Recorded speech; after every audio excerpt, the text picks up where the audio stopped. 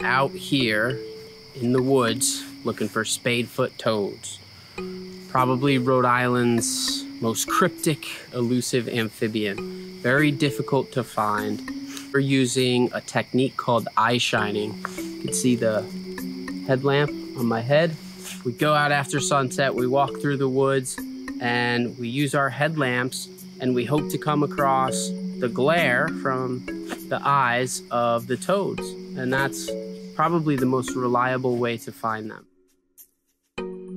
They all go to specialized wetland types and they all breed there at the same time. It's very unpredictable when that's going to happen.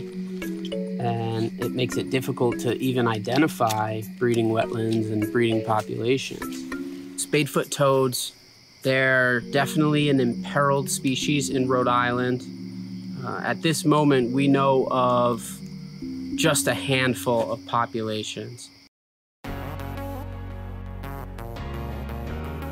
You want to position the headlamp in between your eyebrows, so like low on your forehead, um, so that the reflection comes back to your eyes. You'll also see a ton of eye shine that's twinkly, and those are spiders. What we'll do, we'll, we'll start over here and then we'll walk back in this direction.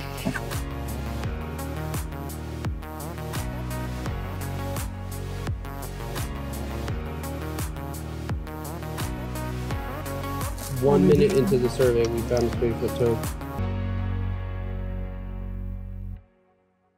We're gonna collect some data on this eastern spadefoot toad that we just found. We'll get simple types of data, things like temperature, and we'll get a GPS point.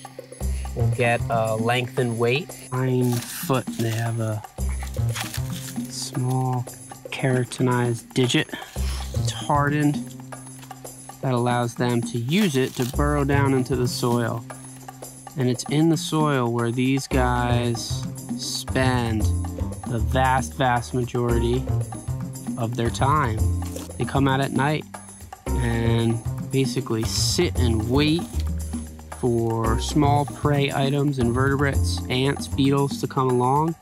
And when they do, they gobble them up. And that's how they make a living. They don't move long distances from day to day. They're active somewhere between April to October in this part of the world. We can start to learn more about where they occur throughout the state and over time gather information on populations.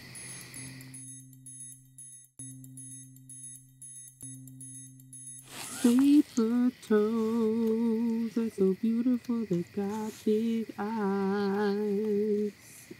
A cross on the back, and they only breed when it rains a ton.